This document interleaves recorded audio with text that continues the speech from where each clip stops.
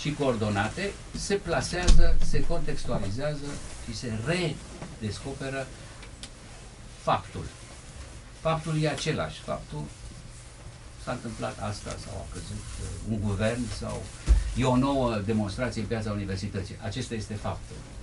Faptul acesta de nouă demonstrație în piața universității în noiembrie sau octombrie 2015 la București are o legătură cu tot ce s-a mai întâmplat în piețele universității din București în ultimii 25 de ani. Are. Descoperă. Are o legătură ce se întâmplă în piața universității în 1989, să zic, în decembrie, sau în 1990 de Paști, cu ce s-a întâmplat în Place de la Bastille, să zic, în 1789, sau în piața Tiananmen în iunie 1989, în China? Are. Nu cred. Demonstrează. Bineînțeles că to- toți avem, suntem în vase comunicante, mai ales în lumea politică și în lumea fenomenală a, a, a politicii, care e o lume a întâmplărilor care au legături. Peste tot sunt parlamente, sunt servicii secrete, sunt tineri nemulțumiți și revoltați, sunt birocrați uh, obtuzi sau vrednici, sunt uh, conducători providențiali sau banali, lumea, lumea e acum împreună, nu mai e, nu mai, nu mai e zidul Berlinului, nu mai este nimeni cu sârma înghimpată între est și vest. Și, um, deci este o carte care integrează momentele românești în momente românești vechi, vechi, să zicem de pe vremea lui Pazvante Chiorul, Cuza, și în același timp o așterne în, în lumea pe orizontală largă. Dar ungurii ce fac, dar bulgarii ce fac, dar polonezii ce fac, dar chinezii ce fac, dar rușii dacă fac asta, de ce nu... De ce o întâmplare mică de aici are legătură cu un fapt de la Moscova sau are, sigur, cu un fapt de la Washington, bineînțeles. De ce când fluturele dă din aripi se face Big Bang-ul? De ce? Bă, asta e, de ce? Sigur, eu am mijloace limitate, am dotarea uh, limitată, nu, pot, nu am privirea și instrumentele de analiză cele mai apte și mai competente, dar în orice caz am, am, uh, aceasta au fost, acestea au fost metodele, iar rezultatul este aici. În um, ultima parte, mai ales, dar și în, înainte unor capitole din ultimii ani, am introdus și două, trei intervenții publice, conferințe la Teatru Național, în, în, în care vorbesc despre liniile de fractură, nu între civilizații sau religii, în interiorul societății românești bună oară, și vorbesc și despre posibilitatea sfârșitului Europei, care în ianuarie 2015 era amenințătoare și acum mi se pare mai pronunțată decât atunci. Sfârșitul Europei. Nu, sfârșitul unui anumit fel de a fi al Uniunii Europene, al instituțiilor, al ce se va mai putea întâmpla. Uh, nu? se închid granițele, se fac iarăși controle, cine e de vină, mulatrul, arabul, islamul, fundamentalistul, nu mai e credința în Dumnezeu, neoiluminismul ratat, care n-a mai funcționat, unde, unde sunt. Și fine, și am introdus și aceste este o contribuție uh, la cunoașterea de bază, adică care, care ar putea să intereseze, sunt convins că nu o să intereseze, pe cei din licee sau de la facultăți, dar și pe cititorii sau privitorii uh, mei, ca să vorbesc acum așa, din, din ultimii ani, pentru că e o lume comună, dar e, o, e, e și o, un compendiu al timpului care poate să fie util. Nu e cu ani și precis, nu are precizia asta ce s-a întâmplat în ziua de 24 ianuarie 1859, nu așa, dar citind-o, intri în aerul acestui timp și chiar dacă amici de mei, cum e Cete Popescu sau chiar în prefața asta austeră de pe Bretea, Pleșu, spun că sugerează că o, fac o fel de... am o predilecție pentru echivoc și pentru non-tranșare Asta e viața. Uh, să fiți voi, tranșați voi, Așa este. luați voi concluziile, cine poate să tranșeze, o să fie, e foarte tranșată uh, povestea. Veți vedea că sunt povești foarte tranșate. Acum, um, de ce am mai ales trei cărți? Aici este o carte la care țin foarte mult pe vremea când încă nu a apăruse în limba română, dar se vorbea despre ea. Una despre cărțile despre care se vorbește îna- înainte de a o citi, o pomenești și tu.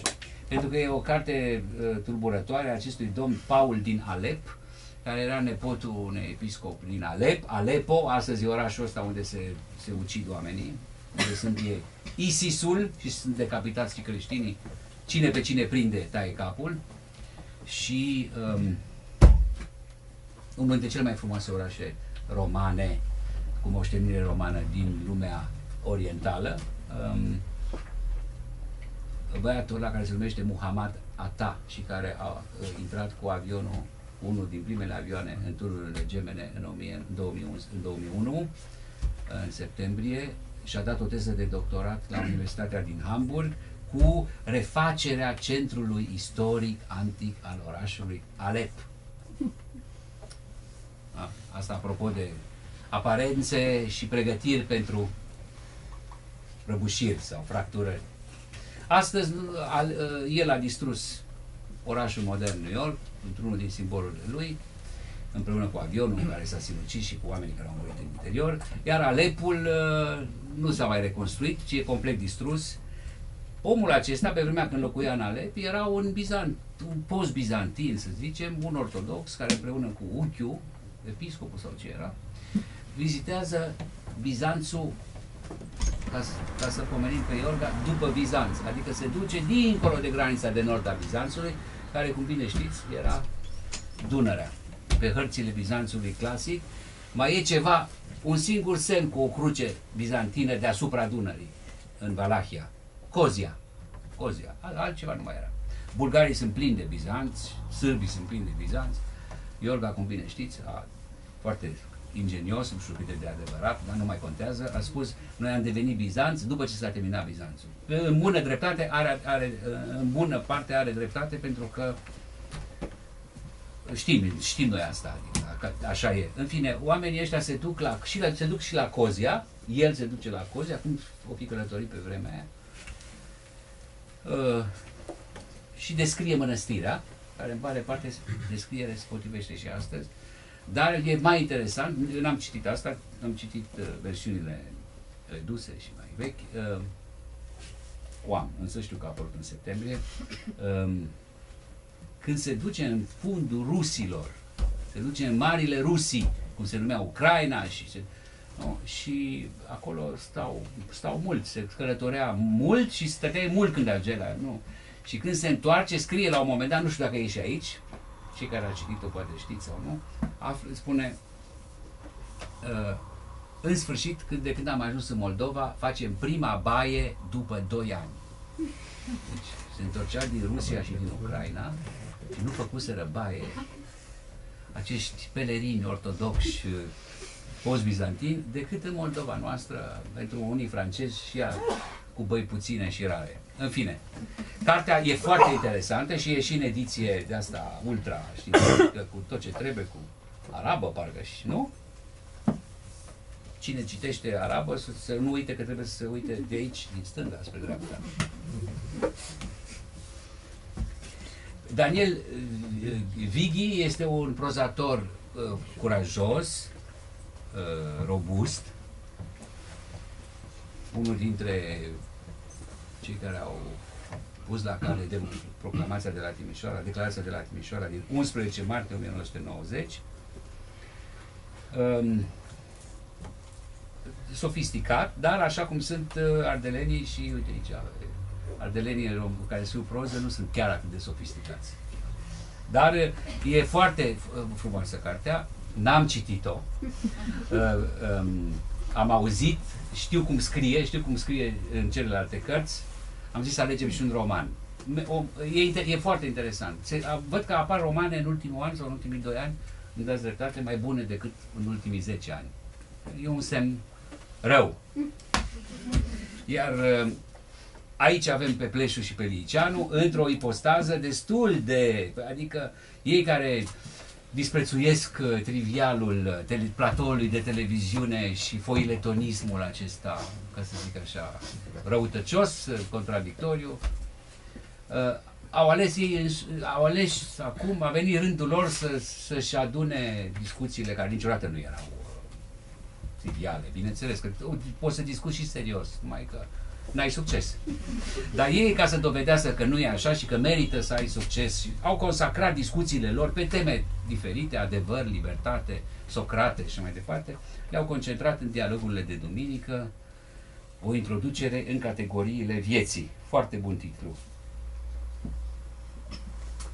Intelectual publici excelenți, prin excelență, trebuie să scrie, să fie prezenți, afli multe citind această carte, poate chiar mai mult decât privindu-l la televizor, că la televizor toată lumea seamănă cu toată lumea și foarte rar când vine cineva să vorbească de Socrate la televizor între nu dau nume, acum nu mai am voie, atunci zice, ia hai, mai schimbi, că vrei citație. Dar a, acum intră în altă categorie discuția, intră în categoria cărții.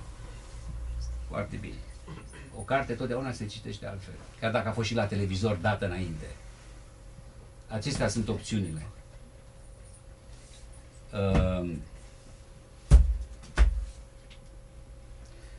sunt mai multe astea decât astea trei, bineînțeles. Uh, cam asta ar fi. Adică, uh, unde e părintele cu ordinea?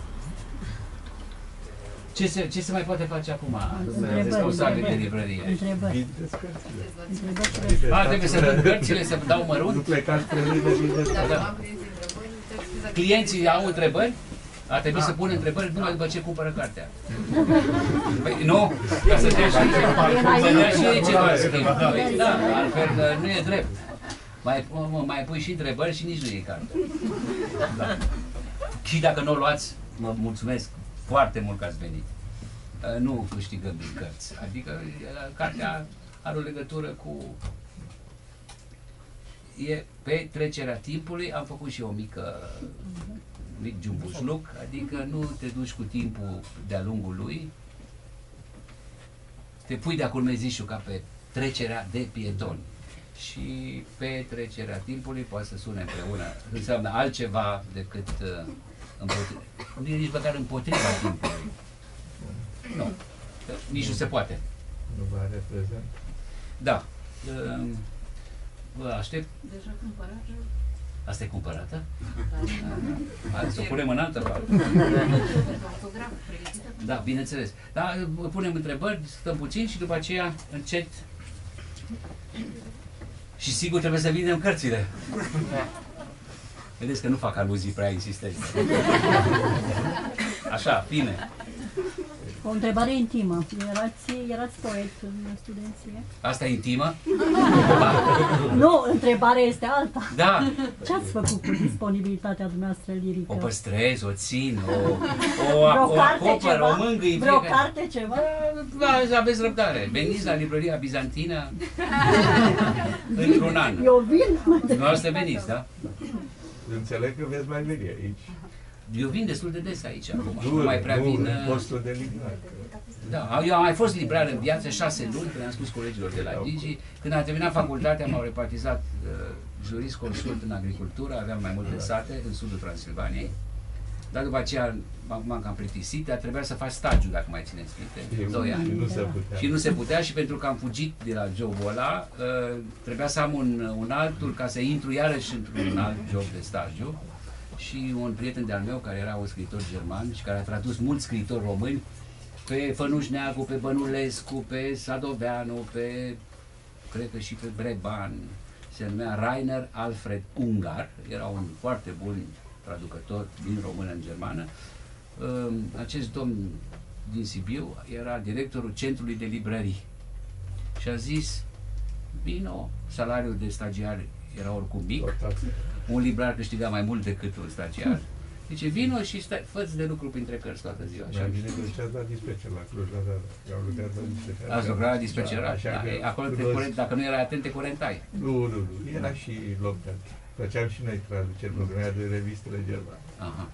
Da, în fine, deci am o experiență nemijlocită cu librăria, dar din când în când uh, apărea câte o profesoară de la liceu, diferența dintre când eram la liceu și când eram librar nu era prea mare, câte o profesoară de română sau latină se uita așa. Noi ne cunoaștem, nu? Dar, doamnă, ce mai faci? Uh, bine. Păi, ce-ți place cartea? În fiecare zi te văd aici. și când nu intru, te văd prin vitrină. Chiar așa de pasionat ai devenit, eu eram, le vindeam sau le supravegheam. Și ca să nu dezamăgesc uh, prietenii părinților sau profesoarele, băiatul ăsta a fost și la școală, o fi pățit ceva, l-au dat afară, nu e în stare de nimic. Spuneam, uh, ei, da, cartea e și un spectacol, trebuie să te uiți la ea. Nu le recunoșteam, uh, dar acum mă, mă bucur că sunt liberal. Păcat că ține numai o oră sau două ore. În fine.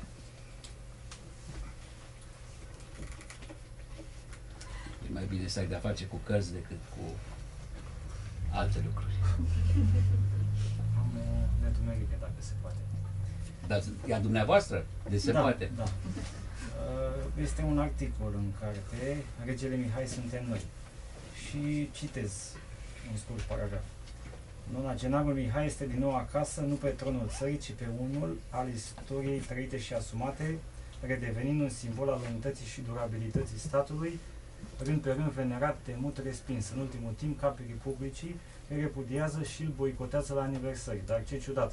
În felul acesta, adversarii de stânga și vădit antimonarhici de altă dată, adică o parte a opoziției politice din prezent, au devenit ei înșiși pro-monarhici entuziaști.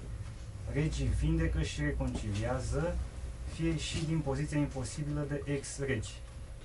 Și acum vine întrebarea. Cum ați ajuns să scrieți pe republica.ro? A, na, stați puțin. Uh, uh, uh, Trăiesc în Republica România, ca și dumneavoastră. Știți la Deci ce nici nu mă refer? sinucid și Deci nu mă duc noua- în Marea Britanie. Deci înainte de a scrie pe un site care se numește Republica și care nu are o profesie de credință antimonarhică, care se numește Republica, să știți, dintr-un fel de considerent al uh, din faptul divers ziaristic. Au vrut să-și pună Republica, aș fi scris și la unul care se numea monarhia.ro. Mă că nu există. N-am nicio, să știți că nu. Citiți acest site? Nu e antimonarhic și nu e nici pro-republican. Este un fel de republican, se numește Republica Michiu pentru că sunt oameni tineri care scriu și vorbesc ce vor. Majoritatea au Se lucrat la Gândul. Gândul a avut o campanie Vreau președinte. Majoritatea, majoritatea, Și cred că majoritatea sunt Relativismul termen. pro-republican. auziți, știți cum e?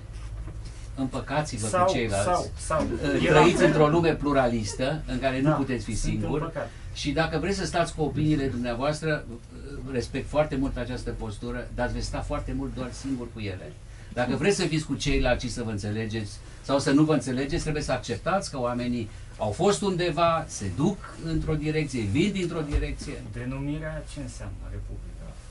Republica este o formă, este o formă de guvernare la fel de respectabilă ca și monarhia.